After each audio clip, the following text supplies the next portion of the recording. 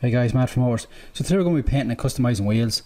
We're going to be using masking tape and fine line tape to create our own custom and unique design.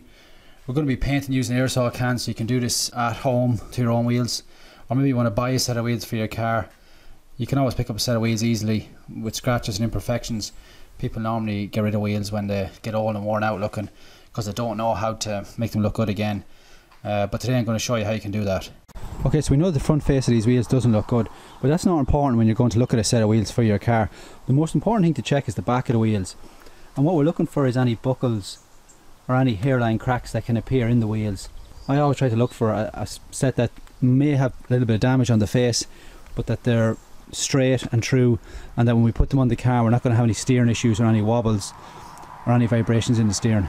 Starting with the back of the wheels, I'm going to give these wheels a thorough clean using a cheap non-acidic wheel cleaner. You can do this with just soap and water, but I like to leave the wheel cleaner sit for 10-15 minutes and then it makes light work of the dirt and the old brake dust. And you will always get a stubborn patch that you can use some wire wool or some scotch pad just to help remove it. Okay, so we've got the wheels all cleaned up there now. It has revealed some scratches and marks it's on the wheels, but we know that already. So we're going to sand out with 80 grit sandpaper and 180 grit sandpaper and that'll leave it ready for primer. With some 80 grit sandpaper on the heavy damage and the paint chips, and then 180 to key and smooth the surface for the primer, we're almost ready to start transforming these old wheels into something a bit more cool and modern looking. Okay, so we've got the wheel all nice and smooth. We sanded it with 80 and 180 grit sandpaper. Now we're going to mask up the tyre just so we can put the primer on. The biggest issue people have when masking wheels is getting the tape to stick. I've used everything from duct tape to a deck of playing cards to mask up a wheel.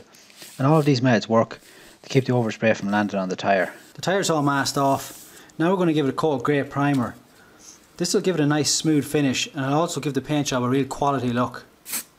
It can be tempting to skip the primer stage, but it ensures you will have a super smooth finish, ideal for all base coats and clear coats. Okay, so after 20 minutes of drying, I've given the wheels a quick wet sand with 800 grit sandpaper. And then after I dry down, we check the wheels to make sure that the scratches and damage are invisible. This is a standard aerosol silver I had lying around. The shade doesn't really matter here, as it's only going to be used for the highlights in the wheel. Okay, so we have our wheel all ready for our design to be laid out. For the design I'm going to be using some uh, fine line tape and some 2 inch masking tape. And then I'm using a razor blade just to cut out the design. So in order to get the design I just play around with the fine line tape.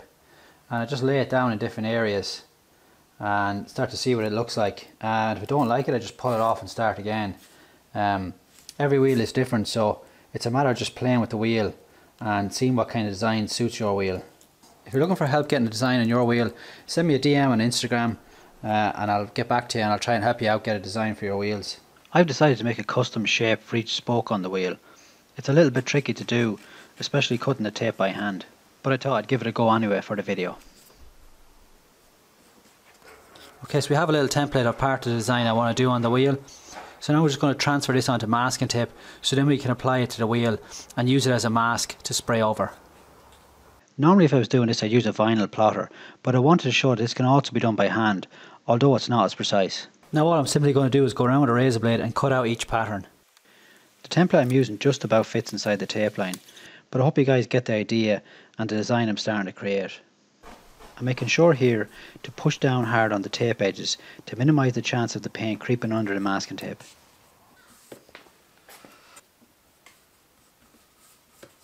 Okay, so the design's starting to come together. Now I'm going to run a layer of fine line tape around the rim of the wheel. Running fine line tape around the outer rim is probably one of the easiest designs you can put on your wheels. A lot of the car manufacturers and wheel companies nowadays simply do this by adding a bright colour to the wheel rim edge. I'm just finishing up by trimming the tape with a razor blade, being careful not to cut right through to the paint. Okay, so you can see our design now we've laid out. It does look a little bit crazy at the minute, but it's going to look really, really good when we paint the black on and then we peel off our masking and that will reveal the silver underneath, which should give us a really cool looking design. Um, so I'm going to go on and lay the black down and then we'll pull off the masking and then we'll give it a coat, clear coat. Okay, so we're going to be going to paint on the black now. This is just a standard metallic black. But before we do that, we're just going to go around and check all the masking and make sure it's all well pushed down and there's no bits where it's uh, sitting up. Because uh, when we do put the paint on, there is a chance of it bleeding through. But the best way to avoid that is, is to put a really, really light coat first around where the masking is. And then you can go on then and put your heavier coat on after the first coat is dried.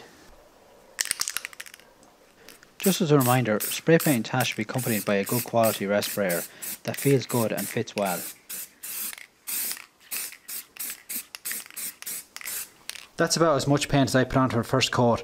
That way there's less chance of the paint bleeding through underneath the masking tape. If you guys have an idea of what colour or wheel design you'd like to see done in my next wheel video, please put it in the comments below.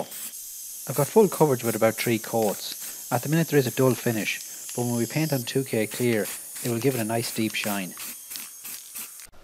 Okay, so I've gotten full coverage on the black paint. It isn't fully cured yet, so we're going to want to pull off the masking tape before the paint is fully dry. That way it'll give a cleaner and sharper line.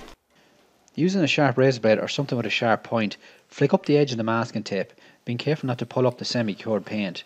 It's at this point that we can start to see our design come to life. I'm putting these on a black car so I think they will really suit.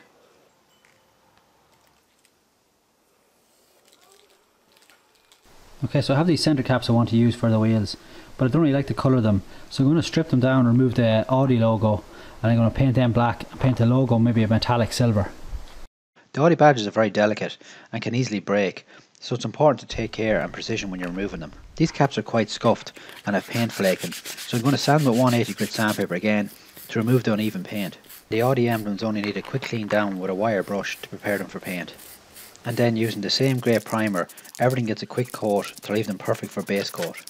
I priced centre caps for these wheels, and the prices were quite expensive, almost the same price I paid for the wheels. I was between two minds on what colour to go for, but I decided to go for black on the centre caps and silver on the emblem, which will suit the black wheels and the black car perfectly. After everything is dried for about 20 minutes, it's just a matter of putting them back together, which is so satisfying when you start to see the contrast between the black and the silver colours. After a quick wipe down of a tack cloth, it's time to apply the clear. I always go with 2K clear coat, as it's harder wearing and it can be buffed within 6 hours. Laying down the clear coat is always the most satisfying part of the job, and it's straightforward as well, as the wheels are lying flat which helps not get any runs in the finish. And after that final coat of clear coat, I will leave these ideally overnight to dry before moving them or putting them on the car. Okay, so it's the next morning and the clear coat now has been dry overnight and there is some slight orange peel in the wheels. So I've decided to go ahead and wet sand and buff the wheels.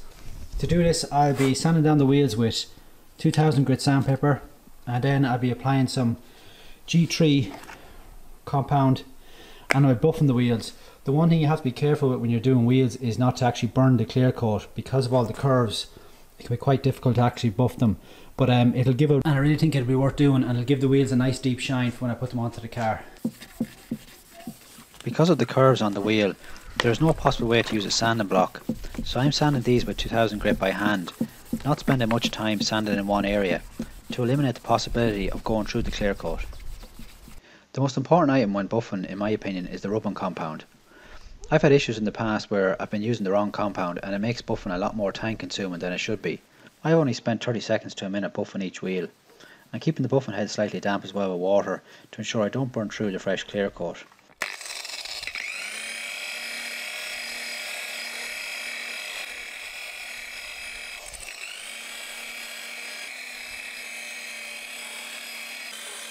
And as you can see it brings up the clear coat to a nice mirror finish.